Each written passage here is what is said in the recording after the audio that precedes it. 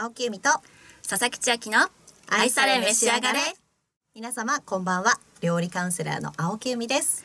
こんばんは佐々木千秋です。いやー世の中はクリスマス一色ですが。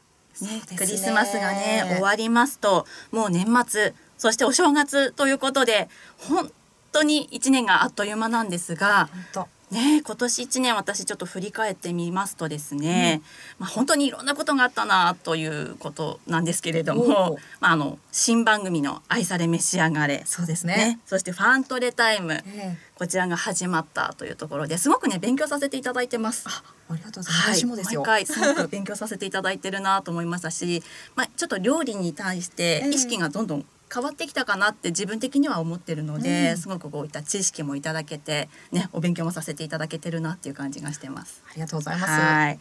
あとはですね、あの自分の出演した映画22世紀グーワンがブルガリアで上映をされたというすごいことで、ですよねねえすごく嬉しいことだなというふうに感じてますね。あとはですね、あのストロベリーナイトサーガーというドラマに出演をさせていただきまして、まあこれもね、私の中ではすごく嬉しかったことなんですよね。ううんん。そしてあとは自分が主演させていただいた映画ラストソングはの撮影もありましてですね、まあ主演ということで。ええすごいですよね。いやーすごくね緊張していたんですけれどもまああのなんだろうこう皆さんに助けられながらそして由美さんも現場にねそういらっしゃってましたので。きました。はいすごく楽しい思い出がねあったかなっていう感じですかね。これからちょっとね出来上がりが楽しみだなっていう感じなんですけれども、はい。そしてですねなんといってもドクター X 外科医大門美智子に出演させていただきましてね本当にあのいろいろなことをさせていただいたなという。もう大活躍ですよね。まあ、大っていうね本当にねありがたいことだなと思いましてまあお芝居もたくさんできたので今年はすごくいい年になったかなっていうふうに感じております。いいですね。はい、由美さんはいかがですか？そうですね。一年ってあっという間だったなと思うんですけど、うん。私もね思い返すと、はい。あの実証の「はい。愛され飯で幸せな結婚を引き寄せる」っていう本が、はい。料理エッセイノミネートされたりですとか。あとは朝日新聞で、はい。東京で活躍するプロとしてですね顔写真入りで新聞に掲載いただいたりですとか、はい。あとはあの来年から始まるドラマのね取材協力をさせていただいて、うん。でさらにあの撮影現場にね見学に行っていったりですとか、うん。あとはねあの先ほどもあったように、はい。佐々木千秋さん主演の映画「ラストソングは」では、はい。フードコーディネーターとしてね、うん。あの参加させていただきましたし。ね。他にもテレビ東京ドラマ「春総合商社の女」ではプロフィールの出演ということもありまして、まあ、とは言ってもね、はい。あのーなんといってもこの番組「愛され召し上がれ」がスタートしたとはいいうことが一番大きくてですね、はい。すべてのメディアでの仕事のチャンスってこのね番組から始まってるんですよね。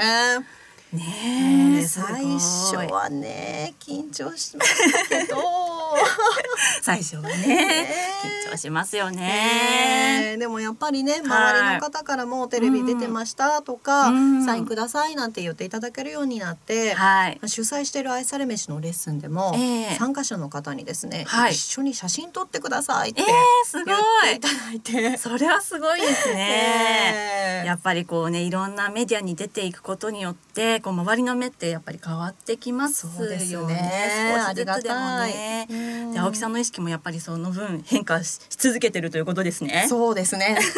もうちょっとずつちょっとずつ積み重ねてはいる感じですけれども、ええ変化してきてる気がします。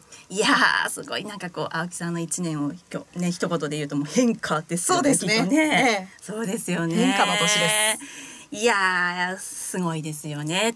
隣で近くで見ててもすごいなっていうふうに感じておりましたよ。そんな青木さんプライベートはいかがですか？プライベート、はいそうですね。あの実はですね、ええ先日スーパー歌舞伎小栗をですね、はい感激してきたんですね。えで迫力のある演技と、うん。あと水を使ったねエンターテインメント性に感激して、え一気にファンになっちゃいました。そうなんですね。お水を使った。そうなんですよ。はあ。でねさらには、はい。あの知り合いのね紹介で、ええ。小栗に出演されていあのらっしゃった、はい。歌舞伎俳優さんのですね、ええ。六代目市川おめぞうさんの、ね、楽屋にもお邪魔させていただいてはい。ご挨拶してきた。んです。あらまあ。もうねね 嬉しくて嬉しくて、はい舞。台のね役柄ではええ迫力のある少し怖い役柄を演じてらっしゃったんですけれども、はい。あの市川梅蔵さんはですね、ええとっても優しい方で、うんもうね目が素敵であら。癒しのオアシスみたいな方でした。そうなんですね。ファンですよもう。ねえすごいななんかそのが楽屋とかにもお邪魔させていただいたというお話今ねおっしゃっていただきましたけれどもいかがでしたか？楽屋訪問いは。やもう緊張しましたねね初めて裏側ってこうなってるんだっていうのを見させていただいたのでうん貴重な経験でした。いやーそうなんですね。まあ、あの私もねあの梅蔵さんはあの実際に映画とかドラマとかで何回かご一緒はさせていただいているんですけれども、ね、うちの事務所とこう業務提携をされてたりとか、ね、してるんですけども、ね、青木さんもそうですよね、ええ業務提携されてる、ということで本当にあのお優しい方で。うん素敵な方ですね。そうなんですよ。そんなね、あのおめぞうさんね、ちょっとラジオとか事務所通して出演していただきたいななんて、もうちょっともう一回お会いでちょっと今思ったんですけど、出演オファーしてもらいましょういいですね。ねえ、ちょっとこれぜひねええ。出ていただけたら、そうですね。嬉嬉しいですよね。ゆっくりお話もっとしたいですし、うんいろいろ聞かせていただきたいですしいやちょっとこれはもうね事務所通してオファーしてもらうしかないですぜね。ひぜひ。ああもうちょっと楽しみになってきてましきましたよ私私。もです。目が変わりました。私も。私たち今ちょっと目が変わってます。本気モードの目になってますよ、ねえ本当にぜひねあのラジオの方にも出演していただけたらななんて思ってますので梅蔵さんお待ちしております。よろしくお願いします。よろしくお願いいたします。さあこんな二人で今回も楽しく婚活や料理などについてためになる情報をお伝えしてまいります。それでは初めのコーナーは今日からあなたも簡単料理人のコーナーこのコーナーは意外と皆さん今更聞けないでもわからないからなんとなく自己流で済ましている料理は作ってみたいけどなかなか習いに行く時間がないなどお悩みの方々に青木由美さんが料理上達の基本を丁寧に解説していただく題して今日からあなたも簡単料理人のコーナーです。それでは由美さん早速お願いいたします。さあ前回のねおさらいからちょっとスタートしていきたいと思うんですけれども、はい。ええお聞きの皆さん、はい。前回のステップのポイント覚えてますでしょうか？覚えてますでしょうか？千秋さんは覚えてらっしゃるですか？覚えておりますよ。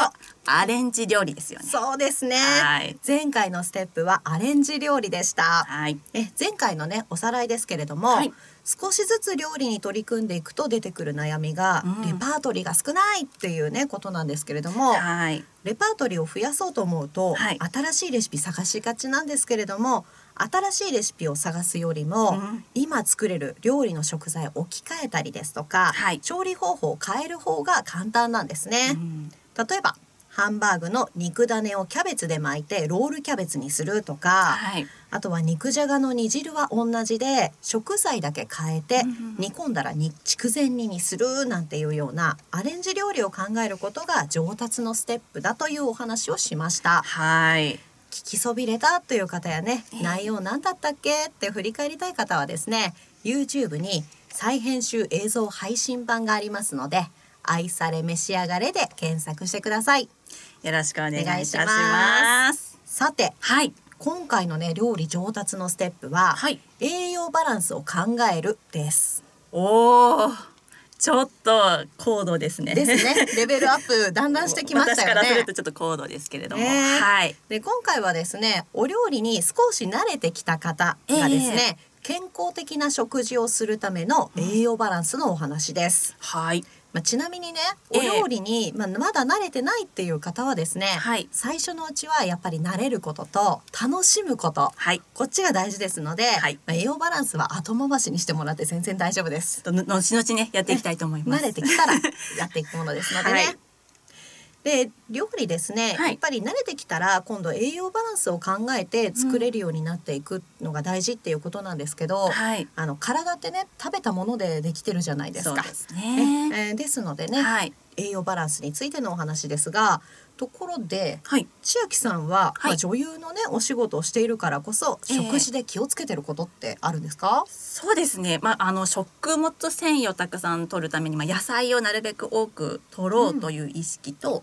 あとちょっと疲れたななんて日はやっぱお肉を食べるように心がけてはいますね。いいですね、はいとっても大事なことですよね。それくらいしかちょっとできてないんですけれども。体力回復そしてね 食事で栄養バランス取る、とっても重要なことだと思うんですよ。はい。で最近って、ええスマホのね無料のアプリでも、はい簡単にこう栄養計算してくれるものがあってですねうんあの何をどのぐらい食べたかを入力したりとか、はいあとは写真を撮影するとその写真からですね、ええ何をどのぐらいって何何グラム？なんていう計算してくれるのがあるんですよ。へえ、そうなんだ。すごい。ただねはい。やっぱり毎回入力するのが面倒っていうことでうんなかなか続かない方もいらっしゃるんですね。ええですので、まあ、はい本格的にやりたい方はちゃんと計算をするっていうのを大事にしてもらいたいんですけれども、はいい、やまだそこまでじゃないしって、うんね、気をつけたいけど、んそこまで本格的にはできないよっていう方はですね、はい。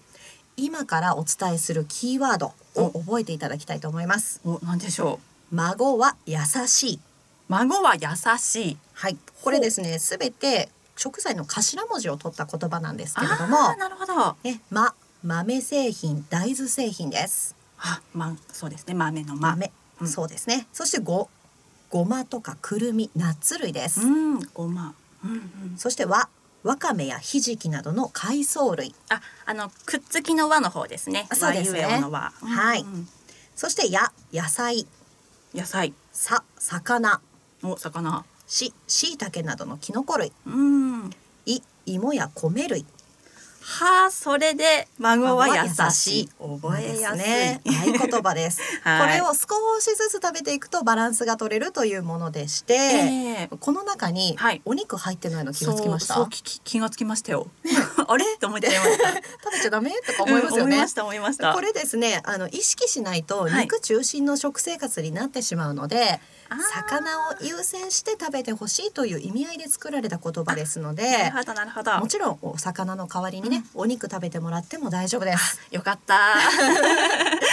ね、私もね毎食ごとに、はい毎回毎回こう栄養バランス考えるのってちょっと大変なのでうん一日単位で考えてるんですね。あ、そうなんですね。ええまあ、例えば、はいお昼にねパスタ食べたら、うん夜はちょっと炭水化物少し減らして、そのはい分ねあのお昼食べてなかったわかめ取ろうかなとかお豆取ろうかななんていう風にして一日でバランス取ってます。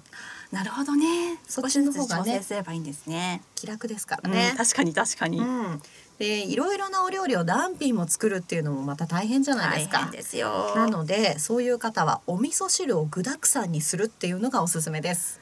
そうですね。いろんなもの入れちゃうんですよ。そうですよね。そうするとバランスも取りやすくなりますので、うんぜひね具沢山お味噌汁で栄養バランス孫は優しいの合言葉でですね栄養バランスを整える食事っていうのをちょっとチャレンジしてみていただきたいと思います。ああ、なるほどね。栄養バランス。なかなかね、こう、まあ忙しいとね、ええちょっと偏っちゃったりっていうこともあると思うんですが、まあ自分自身の体をね、健康にするために、整えるために、ちょっと心がけていきたいところですよね。ね。いやー、貴重なお話でした。本当に、孫は優しい、覚えましょうね、皆様。ぜひぜひ。ありがとうございます。いかがだったでしょうか？皆さんの簡単料理人への道はまた少し前進できたと思います。そしてこのコーナー含めこの番組の模様は、えー本日放送終了後約1週間程度で再編集映像、えー映像配信版として YouTube にもアップいたしますのでぜひそちらの方ねチャンネル登録していただきまして何回も再生していただきながらスキルアップしていただきたいと思います。以上今日からあなたも簡単料理人のコーナーでした。改めまして皆さんお聞きいただいております。この番組愛され召し上がれ。担当は青木由美と佐々木千秋のコンビでお送りしております。さて続いてのコーナーは料理の素朴な疑問のコーナーということで以前からなんとなくコーナーではなくつどつど番組内で青木さんに伺ってまいりました。料理の素朴な疑問がですねえ先月からついにコーナーとして確立していただきましたそうですわね。はい。あの私みたくですね、料理があまり得意ではない方にとっては朗報だと勝手に思っております。それでは今月もですね、料理が苦手なチーム、まああまりしないチームの我々の素朴な疑問にですね、青木さんに簡単にわかりやすくお答えいただきたいと思います。わかりました。よろしくお願いします。よろしくお願いいたします。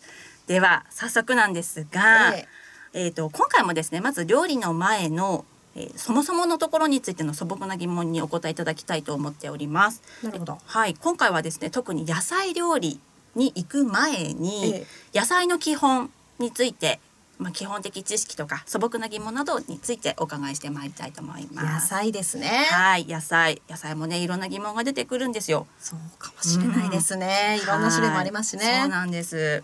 はいまずはですねえ野菜ってまあ一日どれくらいの量を取ればいいのという素朴な疑問でございます。えなるほど。はいまあね食べるように気をつけてるっていうお話もありましたしね。はい。あのこれ一日にね必要な野菜って、うんあのグラムで言うと400グラムなんですね。400グラムか。とは言ってもうんですよ。人参を400グラムとか、はい。あのブロッコリーだけ400グラムではなくって、はい緑黄色野菜を100グラム、はい。色の薄いお野菜を200からまあ250グラム、うんそして芋類を11グラム合計して400グラムということで。いろんな種類を食べるっていうことなんですね。うーん。400グラム確かにそうですね。人参だけ400グラム結構大変ですもんね。ちょっと大変ですね。いろんな組み合わせで400グラムになれば、まあ理想かなって言われるねグラム数ってことですよね。あー、ちょっとね心がけていきたいなと思います。種類も食べてください。はい。続いていきますね。はい。はい。しなびた野菜。ね、これもう食べられないんですか？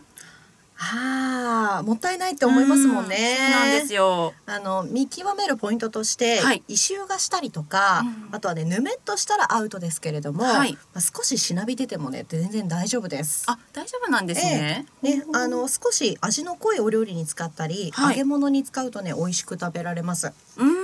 で水分がねはい抜けたことっていうのがしなびる原因ですので、はい。ヒートショックと言ってですね、ええ50度のお湯に5分つけるか、はいまたはお水に3時間から5時間つけるとはい復活しますよ。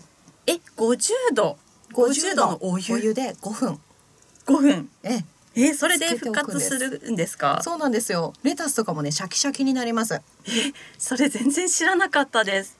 あこれね結構ねもったいないなーって言って捨てちゃう方とかね、うんいるかもしれないですけれどもぜひねお湯で復活させてみてもらいたいですね。えー。でちなみにはい時間が経ってね、こうしなびるではないですけれども、ええ芽が出てきちゃったものとかもあると思うんですよ。あ、例えば。じゃがいもとかね。うーん。であの芽が出てきたものっていうのが、はい味は落ちてしまいますけれども、ええ少し芽が出たぐらいだったら全然大丈夫で、うーんただしじゃがいもだけは気をつけてください。おじゃがいもって、はい芽のところにねソラニンっていう毒があってこのね毒があると、はいたとえ茹でても、はい揚げても食中毒を起こしてしまいますので加熱してもダメなんですね。ダメなんですよ。えー、知らなかったかも。じゃがいも芽の部分っていうのは取り除いてもらってもしも皮がね、緑色になってたら、はいもう緑のは毒が回っちゃった証拠なので、そうなんですね全。部きれいに取り除いてください。いや知らなかった。緑緑になってたらもうちょもうそこはアウト。そうなんです皮をきれいに全部取ってもらってそうなんですね。ここだけはねちょっとねじゃがいもちょっと注意ですね。そうなんです。よ。ああそうなんだ全然知らなかった。うんね、ちょっとじゃがいものこう芽のところはちゃんとくり抜きましょうって小学校の家庭科の量ねあの授業の時にやりましたね。習ったんですけど、まあ毒があるよっていう話は聞いてたんですが、ええ加熱してもダメ。いそうなんです。や大人になるまで知らなかったことが恥ずかしい。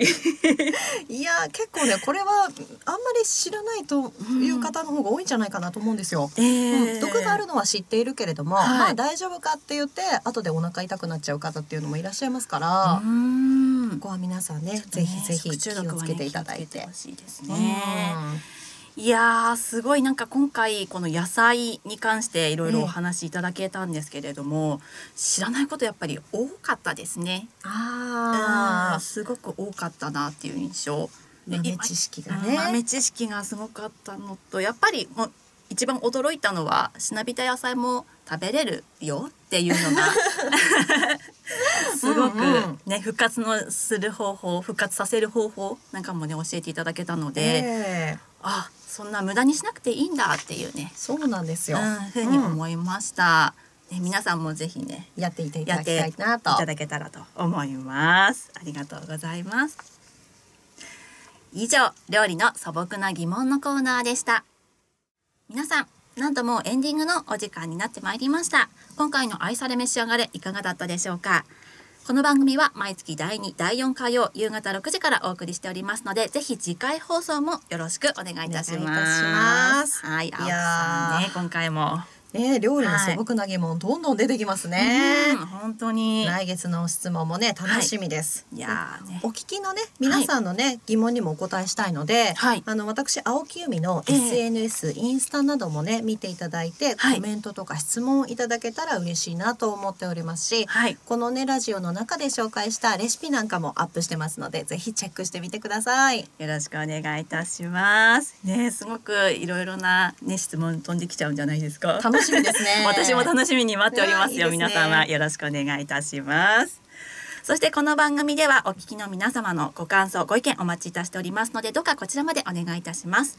メールアドレスは info アットマーク plus ハイフン vox ドット com info アットマーク plus ハイフン vox ドット com 愛され召し上がれまでお待ちしておりますそれではまた来年もこの番組をよろしくお願いいたします。します。では今回はこの辺りで皆様のお相手は青木由美と佐々木千秋でした。どうぞ良いお年をお迎えください。あでは皆様来年も愛され召し上がれ